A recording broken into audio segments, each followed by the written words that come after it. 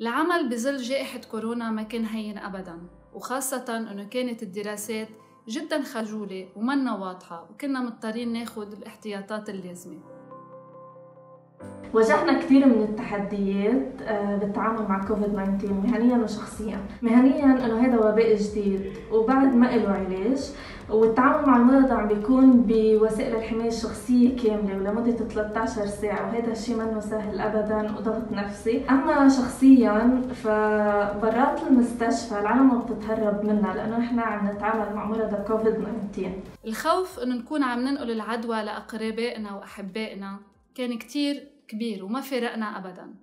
بس هيدا الشيء ما خلانا نوقف وضلينا مكفين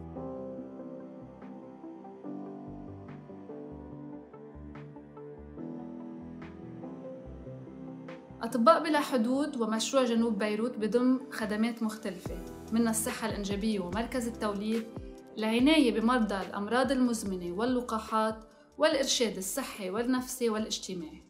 كانت بدايتي مع أطباء بلا حدود عام 2016 واخترت كون من هيدا الفريق من منطلق إنساني وككون كقابلة قانونية عم قدم الخدمة للنساء اللي بحاجة وخاصة خدمة الصحة الإنجابية.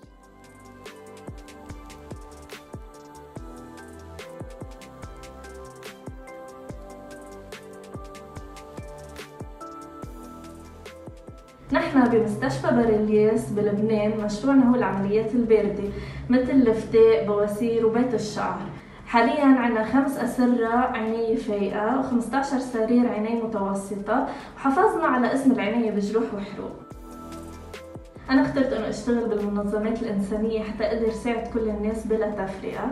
منظمة أطباء بلا حدود أعطتني هذه الفرصة لأنه مبادئها هي المساواة والشفافية وعدم التفرقة بين البشر.